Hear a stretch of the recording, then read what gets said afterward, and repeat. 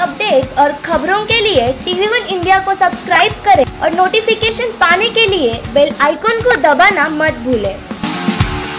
भाजपा नेता प्रवीण दरेकर ने मनपायुक्त से की मुलाकात, कोविड नियंत्रण और स्वास्थ्य सुविधाओं का लिया जायजा। विधान परिषद में नेता विपक्ष प्रवीण दरेकर ने आज नवी मुंबई मनपायुक्त ए बी मिसाल से मुलाकात की और कोविड नियंत्रण इंतजामों और सेवा सुविधाओं पर चर्चा की। उनके साथ पूर्व मंत्री विधायक गणेश नाइक एवं मंदा मात्रे भी मौजूद थे। मीडिया ब्रीफिंग में भाजपा विधायक प्रवीण दरेकर ने कहा कि नवी मुंबई थाने में कोरोना से निपटने पर्याप्त मेडिकल सुविधाओं का अभाव है। जहाँ केयर सेंटर है, वहाँ चिकित्सा कर्मी नहीं है। उन्होंने नवी मुंबई में आवश्यक सुविधाओं की कमी के सवाल पर कहा कि हमने आयुक्त से मांग की है और उम्मीद है कि जल्द ही स्वास्थ्य सुविधाओं की कमी को पूरा करने का प्रयास किया जाएगा।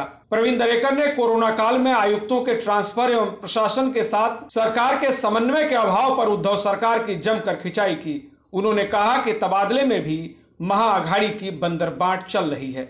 मेरे को जो प्रेजेंटेशन दिया, उसमें सफिशियंट वेंटिलेटर्स है, ऐसा आंकड़ा आया।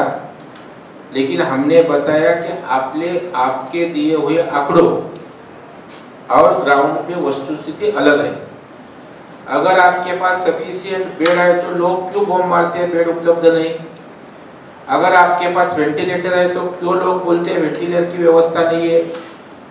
आपके पास ऑक्सीजन की व्यवस्था है तो क्यों लोग बोल रहे हैं? तो इसका मतलब कहाँ भी लोग और महापालिका प्रशासन में कम्युनिकेशन प्रॉपर नहीं।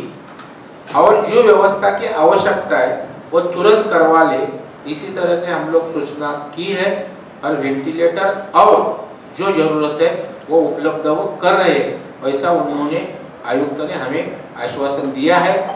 जो इंटेंसिविस्ट फिजिशियन और मनुष्य बल की आवश्यकता है, उसके बारे में भी तुरंत वो लोग अभी इसके ऊपर कार्यवाही करने जा रहे हैं और आवश्यक मनुष्य बल और वेंटिलेटर जल्द से जल्द उपलब्ध करने का दावा आयुक्त ने किया। सरकार और प्रशासन में इतना विसंवाद है, उसकी वजह से सभी प्रॉब्लम क्रिएट होते हैं। अभी लैब का रिज़ल्ट तुरंत आना चाहिए, एक दिन में, क्योंकि इसका परिणाम ऐसा होता है। चार दिन अगर लेट आएगा तो वो पॉजिटिव रहेगा तो पूरा गाँव भर घूमता रहता है, घर में रिलेटिव में, दोस्तों में। तो तुम्हारा रिपोर्ट आने तक वो अनेक लोगों को प्रादुर्भाव कर सकता है।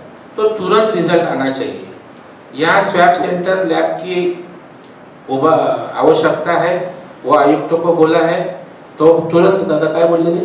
करतो बोलले ना तात्काळ. तात्काळ लॅब ते तीन चार दिवसात या ठिकाणी उपलब्ध करतायत. आणि त्याच्यामुळं ती लॅब स्वॅप सेंटर झालं की तात्काळ आपल्याला रिझल्ट त्या ठिकाणी येईल. खरं म्हणजे हाच गॅप आहे. कारण जर इथे लॅब नसेल तर मुंबईला पाठवायला लागतं मग येईपर्यंत तिथे तपासीपर्यंत तिथे लोड असतो. आणि या चार पाच दिवसामध्ये या ठिकाणी आणखी प्रादुर्भाव वाढू शकतो. तर तशा प्रकारची लॅब दोन चार दिवसात उपलब्ध करण्याचं आयुक्तांचं या ठिकाणी आश्वासन है हमारी भावना प्रामाणिक है गरीबों को ज़्यादा बिल आना नहीं चाहिए और उसके लिए हम लोग लड़ेंगे सरकार के साथ हॉस्पिटल के साथ. इस दौरान पूर्व मंत्री एवं विधायक गणेश नाइक ने प्रतिक्रिया देते हुए कहा कि नवी मुंबई में नागरिक कोरोना से जान गंवा रहे हैं, लेकिन अभी भी प्रशासन लचर भूमिका में है। उन्होंने कहा कि यदि हफ़्ते भर में मनपा अस्पतालों को खाली नहीं किया गया तो आंदोलन तय है। वहीं विधायक मंदा मात्रे ने आयुक्त बी मिसाल का पक्ष लेते हुए कहा कि कोरोना से निपटना आसान नहीं है। आयुक्त अपने स्तर पर अच्छी कोशिश कर रहे हैं और हमें उन्हें प्रोत्साहन देना चाहिए।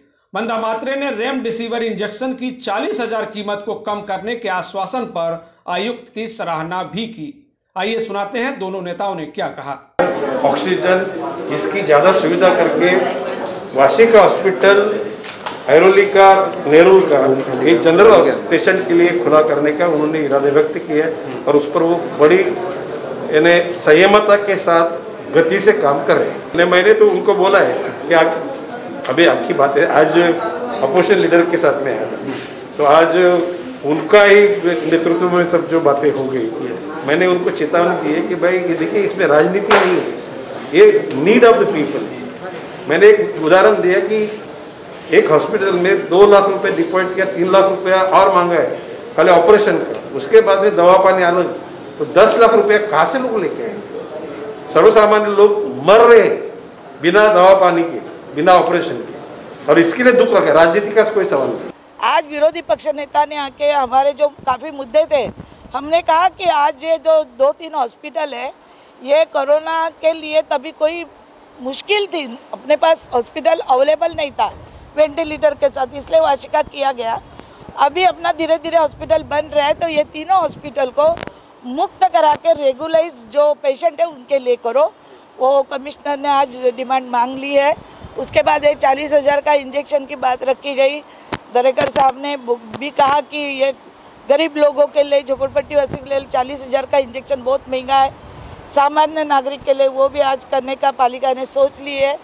तीसरी बात, जो मनुष्य बल नहीं है ये जो कोरोना बढ़ रहा है, लोग क्या कर रहे हैं? घर में दस दस बारह बारह लोगों को हो रहा है। सिंटेस दिखाई नहीं दे रहे और इसके लिए घर में वो फैल रहा है। अभी पालिका आयुक्त तो कोई जादूगर तो है नहीं कि जादू की कांडी घुमाएगा और तुरंत कोरोना को रोकेगा। वर्ल्ड में कोरोना फैल चुका है वर्ल्ड में। जब अमेरिका जैसा देश कुछ नहीं कर सका तो ये नवी मुंबई महानगर पालिका कमिश्नर क्या करेगा? मनुष्य बल नहीं है डॉक्टर नहीं है सिस्टर नहीं है, जो वेंटिलेटर चाहिए, वो नहीं है। बहुत सारी चीज़ की कमतरता है। कभी लगा नहीं था कि कोरोना जैसा रोग आएगा पहला होगा और हमको ये सब करनी पड़ेगी। आज वो कर रहे हैं, अपनी कोशिश। दो महीने में एक कमिश्नर एक हॉस्पिटल को खड़ा कर रहा है। हाँ बारह सौ, पंद्रह सौ बेड का, ये क्या कम चीज़ है क्या? हम उसको प्रोत्साहन देना चाहिए। हम उसकी ताकत बन के उसके सामने खड़ा रहना चाहिए। या हमने उसकी बदली करनी चाहिए, या हमने उसको गाली देना चाहिए। हम उसके लिए आज उसकी ताकत बन के खड़े रहेंगे। तो जाके नवी मुंबई के जो पेशेंट बढ़ रहे दिन ब दिन, वो कम करने का हम सोचना चाहिए। आज की मीटिंग विरोधी पक्ष नेता ने बहुत अच्छी से लिए, उसमें से काफ़ी मुद्दे उभर के आए और कमिश्नर ये सब काम करना चाहता है और हम लोग भी सब साथ मिलके कोरोना से मुकाबला करना चाहते हैं। Bureau report, TV one India.